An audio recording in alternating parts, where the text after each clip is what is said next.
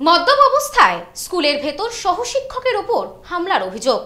চাঁদপাড়ার স্কুলের ঘটনায় থানার দ্বারস্থ শিক্ষক। অভিযোগ অস্বীকার।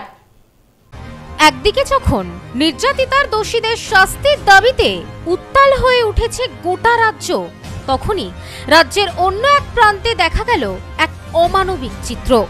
অভিযোগ উঠল, মদ্যপ অবস্থায় স্কুলে ঢুকে লাঠি নিয়ে সহশিক্ষককে মারধরের অভিযোগ। জানিয়ে রীতিমতো উত্তেজনা ছড়িয়েছে উত্তর চব্বিশ পরগনার গাইঘাটার চাঁদপাড়া ঢাকুরিয়ার ভারতী বিদ্যাপীঠ প্রাথমিক বিদ্যালয়। ইতিমধ্যেই তদন্তে নেমেছে গাইঘাটা থানার পুলিশ। যদিও নিজের বিরুদ্ধে ওঠা অভিযোগ অস্বীকার করেছে ওই স্কুলের অভিযুক্ত শিক্ষক। সূত্রের খবর, শনিবার স্কুলের হাফ ডে ছিল। এদিন স্কুল ছুটি হওয়ার পর স্কুলের শিক্ষক অরূপ সাহা মদ্যপ অবস্থায় স্কুলের স্টাফ রুমে ঢুকে লাঠি দিয়ে ওই স্কুলেরই আরও এক শিক্ষক পলাশ সরকারকে মারধর করার চেষ্টা করেন। সেই সময় সেখানে উপস্থিত অন্যান্য শিক্ষকরা তাকে কোনো মতে রক্ষা করে। এমনটাই অভিযোগ করেছেন আক্রান্ত শিক্ষক পলাশ সরকার। এখানেই শেষ নয়। এমনকি আক্রান্ত শিক্ষকের বাড়িতে গিয়েও তাকে হেনস্থার অভিযোগ উঠেছে অভিযুক্ত শিক্ষক অরূপ সাহার বিরুদ্ধে। আক্রান্ত শিক্ষক অবশেষে থানার দ্বারস্থ হয়েছেন। এখানেই বসেছিলাম, স্কুল ছুটির পরে আমাদের দুটো পর্যন্ত থাকতে হয়। তো একজন মাস্টারমশাই, আমারই সহকর্মী অরূপ সাহা, উনি স্কুলে ওই দিন আসেননি, ছুটিতে ছিলেন হঠাৎ একটা পঁয়ত্রিশ চল্লিশ নাগাদ এসে একটা ওখানে মিড ডে মিলের জ্বালানি কার্ড থাকে, মদ্যপ অবস্থায় এসে আমাকে মারতে শুরু করলেন এই পাশে আমার এই মাস্টারমশাই বসেছিল, আর ওই সুদীপ্ত স্যার ছিল ওই পাশে, উনি, ওরা এসে লাঠি বাড়ি কেড়ে নিল, ততক্ষণে আমার মোটামুটি মারা হয়ে গেছে। তো কারণ হিসাবে আমি এখনও কিছু জানতে পারিনি। আমি থানায় একটা কেস করেছি, আমার এসআই কর্তৃপক্ষ জানিয়েছি। আরও যেখানে যেখানে জানানো ডিআই বা সব জায়গায় আমি জানাব। আমি আইনের আইনগত ব্যবস্থা নেব। না, কারণটা আমি বুঝতে পারছি। হয়তো এটা হতে পারে যে উনি স্কুলে আসেন না না এসে সই করেন।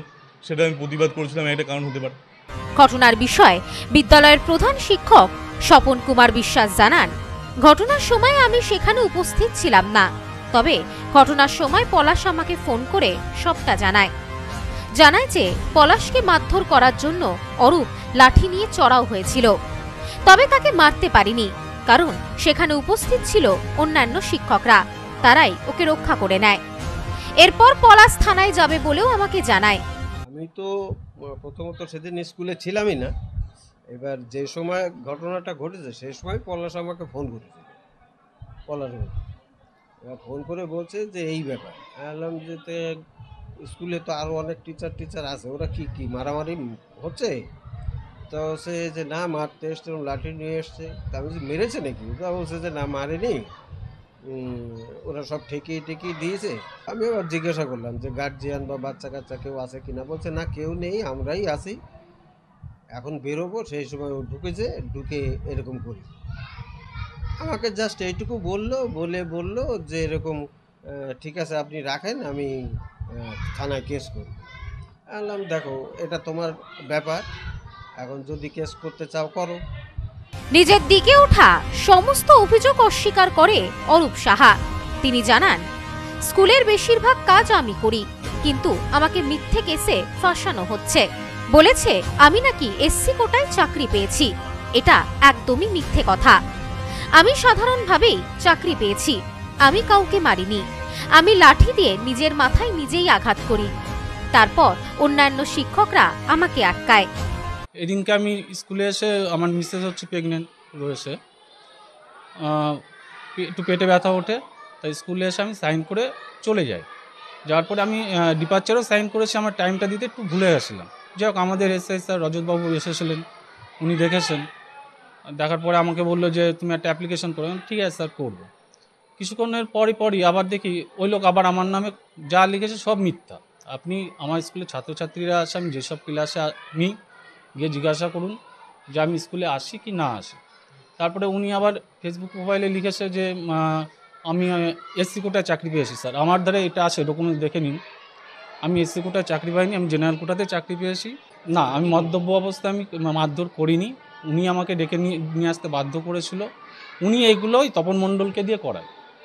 এবার যাই হোক, আমি এসেছিলাম, আসার পরে আমি এতটাই ব্যথা আর আমাকে এতটাই যন্ত্রণা দিচ্ছে, আমার কিছু করার নেই। আমি লাঠি নিয়ে, আমার নিজের মাথায় আমি নিজে বাড়ি নিয়ে তারপরে আমাদের তপন বর্ধন আছে উনি আমার, না, আমার সুদীপ্ত মাস্টার আছে উনি লাঠিটা নিয়ে বলে, কি করছ? তারপরে ওর সাথে আমার মুখে মুখে তর্ক হয়। আমি বাড়িতে চলে যাই। তারপর আমি ভাবছি থাক আমি তো এমনি যন্ত্রণার মধ্যে আসি ওর বাড়ি থেকে বলে আসি কিছু মনে করো না আমি তো প্রেগনেন্ট না আমি কোনো হুমকি দিইনি আমি দাঁড়িয়ে অবস্থায় দাঁড়িয়েই ছিলাম। আর আমি একটু নার্ভের ওষুধ খাচ্ছি তো আমার এরকম সমস্যায় হচ্ছে। এই বিষয়ে গাইঘাটা পঞ্চায়েত সমিতির সভাপতি ইলা বাগচি বলেন একটা অভিযোগ আমরা পেয়েছি স্কুলে গিয়ে বিষয়টি খতিয়ে দেখা হবে।